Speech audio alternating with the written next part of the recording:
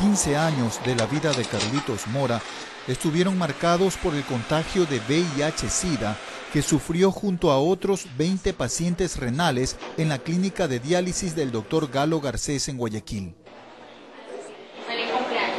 Solo como muestra podemos relatar que el cumpleaños número 19 de Carlitos lo pasó conectado a una máquina en el hospital de IES de Guayaquil. Este es un día especial y la quiero pasar con mi familia. Un año después comenzó a escribir el libro 21, Historia de un sobreviviente.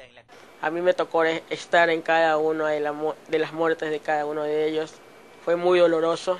En el lanzamiento del libro realizado en 2006, comenzó el pedido de justicia, no solo de parte del flamante escritor, Comencé ocasionando un sueño, escribir un libro, sino de parte de los familiares de las otras víctimas. Nosotros tuvimos los muertos, no nos los inventamos.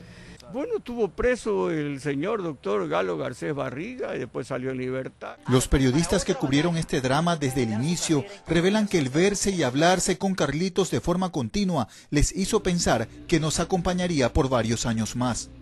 Desde el principio, Carlos le arrebataron su infancia, porque era un chiquillo de 8 o 9 años que en ese momento tuvo que ponerse piel humana de adulto. Los recuerdos de la vida y obra de Carlos Mora Peñafiel nos acompañarán de seguro como una guía para combatir contra los desánimos que a diario intentan abatirnos en el ejercicio de nuestros deberes y derechos como ciudadanos de un país que siguen pidiendo justicia.